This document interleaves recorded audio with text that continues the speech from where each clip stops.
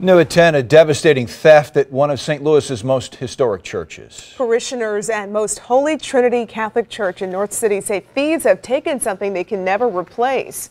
News 4's Kim St. Onge is in the Hyde Park neighborhood with that story tonight. Kim.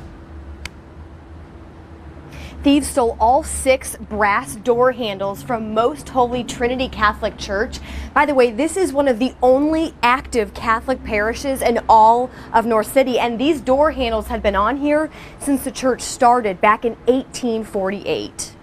These twin spires on top of Most Holy Trinity Catholic Church can be spotted for miles. They've been part of North City's skyline for almost two centuries. We have just celebrated 171st birthday. Inside, much of the sanctuary is still original, including these pews. Right now it's a small, small congregation but it's very big in spirit. Ed Petrus has been coming here since 1985. He's like the other 84 parishioners, devastated after someone stole the church's brass door handles. They can't be replaced. They're 100 and, 121 years old.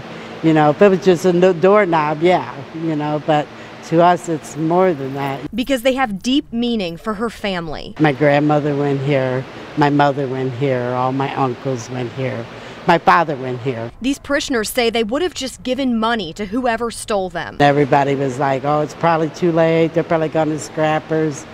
I said, who knows, but let's pray that, you know, somebody have a guilty conscience or something and return them. This isn't the first time the church has been targeted. Copper's been stolen from the roof before, causing a leak. We have to reach out to the community and then maybe more, they'll care more about what they're doing and how they affect the church when they do things.